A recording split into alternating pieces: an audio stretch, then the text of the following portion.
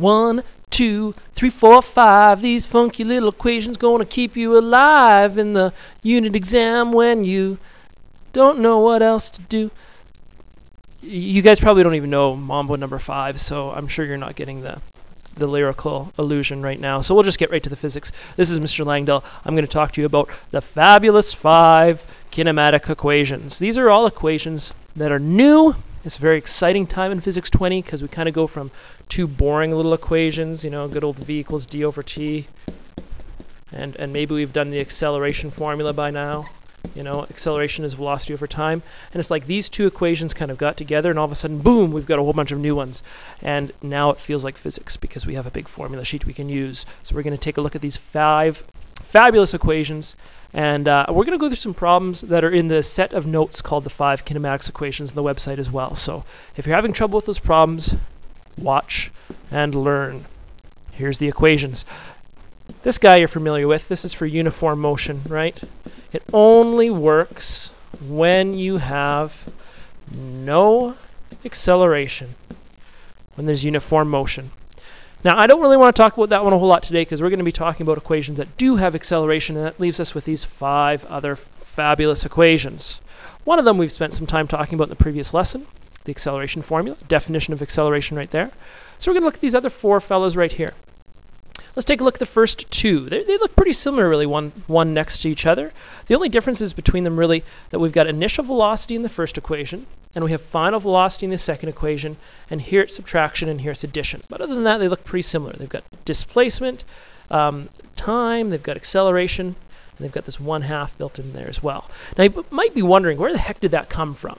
If you really want to know, you and I should be friends because I like to know where it comes from too. But you know what? You can look it up in your textbook or you can look it up in my notes and you can see it. You don't have to know where it came from. You just really have to know how to use it in Physics 20. Two other ones here. This one's kind of interesting because it's a kinematics equation and it can only be used, like all of these other guys that I've drawn a box around, for situations where there is acceleration. These are all acceleration formulas, but this one doesn't have any acceleration. That must mean, you know, the A feel a little bit left out there. But you can tell it's an accelerated motion equation because it has initial and it has a final velocity right there. So any object that has a different initial than final velocity must be accelerating. Displacement equals Vf plus Vi divided by 2, then multiplied by time.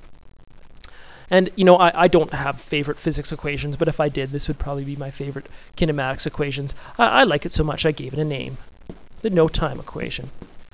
And I call it that because out of the five, it's the only one that doesn't have time. Isn't that original? I know, I, I came up with that all by myself. Let's try a problem. A driver accelerates constantly to a velocity of 7.5 meters per second during 4.5 seconds. The driver's displacement is 19 meters per second east. What's the initial velocity? Now, I know what you're thinking. You're thinking, oh, I've got so many equations now. How am I going to know which one to use? Well, just make a list of everything you're given. It says that this guy is driving and accelerating constantly to a velocity of 7.5 meters per second. That must mean that his final velocity is 7.5 meters per second. That's what he accelerated to. So there's my VF. I can list down my time. That's pretty easy. That's given. Oh, there's a displacement. Those are good. You need to have one of those. It's positive because it's going east, and we're looking for the initial velocity. So now that I have everything down, I can look and see which equation am I going to use to solve this problem. So I go back to my list and I say, hey, there's one that's got everything I need and nothing I don't. It's the perfect equation for me. Displacement equals VF plus VI over time whoops, not over time, over 2 multiplied by time. And now we plug and we chug, shall we? All right. 19 meters is our displacement. Final velocity is 7.5 meters per second. The initial velocity is what I'm looking for. Divide it by 2, times it by 4.5 seconds. Now, here comes the part where some kids get a little bit lost. We're going to do some of the algebra, so stick with me. It's not too bad. First thing I'm going to do here, I think, as my calculator comes up and fills the screen, is I'm going to try to get rid of, um, I'm going to get rid of the 2 first. I'm going to multiply both sides by 2. You don't have to start here, but I think it's a nice way of starting. So I'm going to go 19 times 2 on my calculator to begin with here. So 19 times 2, yep, 38. And now I'm left with this, 7.5 meters per second plus VI over 2. No, sorry, not over 2. We got rid of the 2. It's multiplied by 4.5. So, if I want to get rid of that multiplied by 4.5 seconds, I think I'm going to have to divide by 4.5 seconds. So, let's try it. Divide by 4.5. So now I'm left with 8.4 repeating. Now, you might be wondering at this point, what are my units? I took meters, I divided them by seconds. My units are meters per second. Which is good because look, look who we have. Initial velocity here. I don't know, I guess I can go put back on some vector arrows before you tick me in comments. There, I've got meters per second, I've got meters per second. Now all I have to do is subtract 7.5 meters from sec per second from both sides. And I've got myself my initial velocity. So 8.4 repeating minus 7.5 is 1, oh, sorry, 0.94 meters per second. And hey, that's even good sig digs and all that sort of stuff too. And so that wasn't so bad.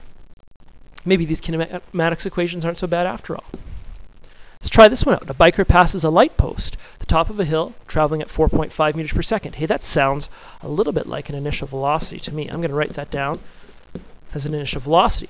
She accelerates down the hill at a constant rate of, ooh, this looks like an acceleration, 0.40 meters per second squared, and for a time of 12 seconds. How far down the hill did she move? Ooh, this looks like a good equation or a good question for me to use this other kinematics equations, uh, displacement equals VIT plus 1 half AT squared. Perfect opportunity to use this one. So I want to know my displacement. I'm going to take my initial velocity, 4.5 meters per second. I'm going to multiply it by time. I'm going to add it to 1 half of the acceleration, which is 0.4 meters per second squared, multiplied by the time squared. So let's see here, that was 12 seconds uh, can I squeeze it in? Squared. And you'll notice 12 seconds, 12 seconds, the time is the same in both of those two variables. Now I can just throw everything into my calculator pretty much exactly as I wrote it out. That's the great thing about these fancy calculators is you can just kind of type everything in just as you wrote it. I put my 1 half as 0.5, but I mean other than that, that looks pretty good I think. So this object has moved through 82.8 meters. Oh, for sig digs, I got two sig digs here and here. I guess I'm probably going to want to call it 83 meters. If you're looking for a direction, you could say something like down the hill. Hey, this equation doesn't look too bad either. That's, that's pretty straightforward, I think.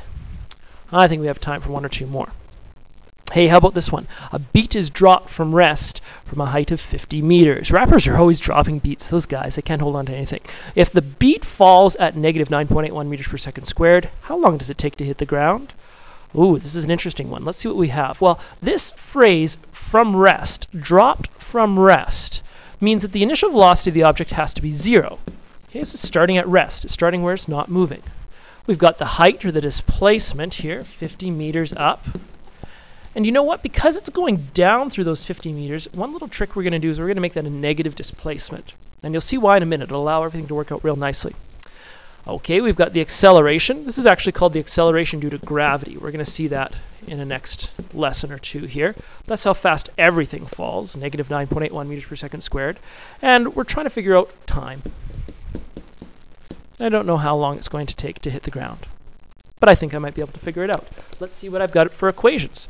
Oh, well, this looks like a good opportunity again to use that second equation that we were looking at, VIT plus 1 half AT squared. Now, I don't know what, well, I do know my initial velocity is at zero. So right off the bat, what I will often do is I'll say, look, this term, the initial velocity multiplied by whatever the time is, I don't know what it is, but 0 times whatever the time is is 0. So this equation now has basically boiled down to something simpler to look at. And it also allows us to solve for time because there's only one t now.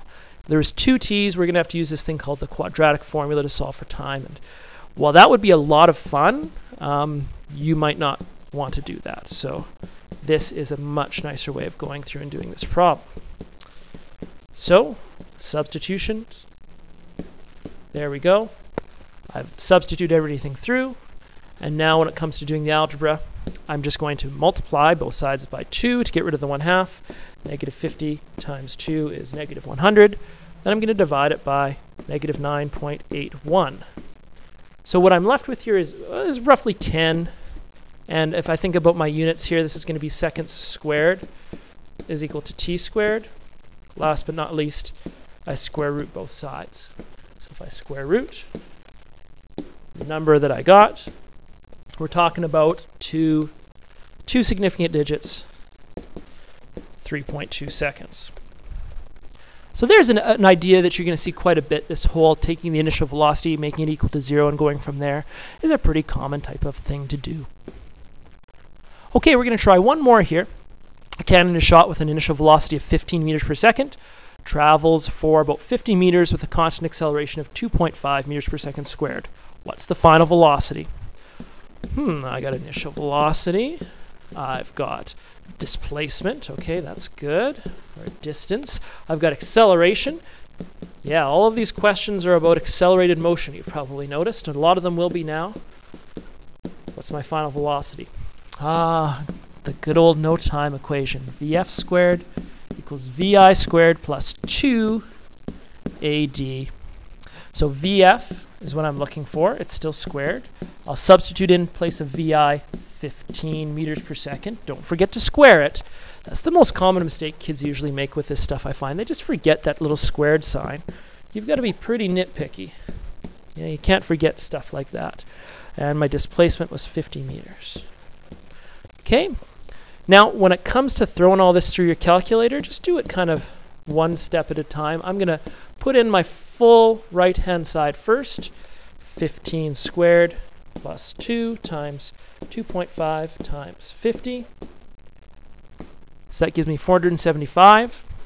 At this point, my units are actually, if you look at them, they're meters squared over seconds squared, which gives you a bit, bit of a hint that the last step to get VF by itself is to square root both sides, because I wanted to get rid of that power of 2. Plus, I mean, for this thing to be moving this fast is maybe a little unrealistic. That makes more sense. 22 meters per second. Wow, that's a lot of problems. That's probably enough for you to chew on right now. If you have any other questions, you make sure that you come and ask. And uh, check out the section of notes on the five kinematics equations on the website.